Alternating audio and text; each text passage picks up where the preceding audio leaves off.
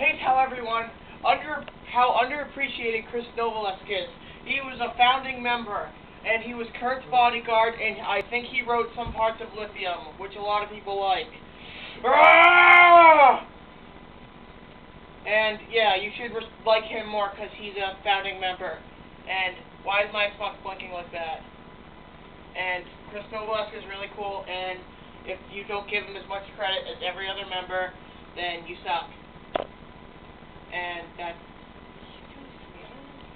Honkada! What, what, what? What do you want to do? And he's really cool and stuff. And he, he was Kurt's bodyguard because he was really tall and beast-like. Ah, don't go near Kurt! Ah! And that's my Chris Novoselic, why you should respect him more, man. Thank you.